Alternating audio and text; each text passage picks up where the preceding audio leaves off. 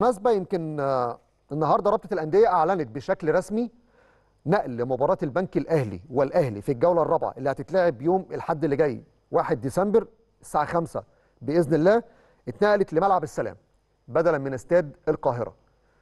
كلنا شفنا جدول الدوري من أول أسبوع إن المباراة دي كانت هتتلعب على استاد القاهرة. ولكن طبعا استاد القاهرة يبدو إنه ما كانش لسه جاهز فاضطرت هيئة الاستاد بالأمس إن هي تفتح الملعب للأهلي وللزمالك. عشان مباريات افريقيا ليه؟ لأن ماتشات إفريقيا ما ينفعش فج- فجأة كده تيجي تغيرها زي ما حصل النهارده في ماتش الدوري.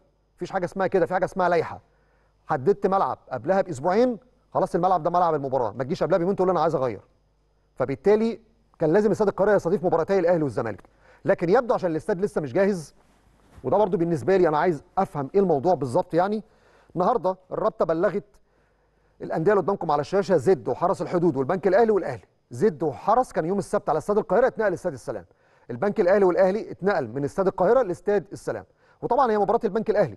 فطبعا الأهلي هو ضيف في هذا اللقاء وبالتالي اللي بيتم اتخاذ كافة الإجراءات معاه هو فريق البنك الأهلي اللي بالتالي مستضيف هذا اللقاء يوم الأحد الساعة 5 مساء بإذن الله. نتمنى التوفيق للأهلي في هذا اللقاء لأن ده اللقاء الأخير في المسابقة المحلية قبل السفر إلى جوهانسبرج عندك مباراة يوم 7 ديسمبر مع أورلاندو بايرتس.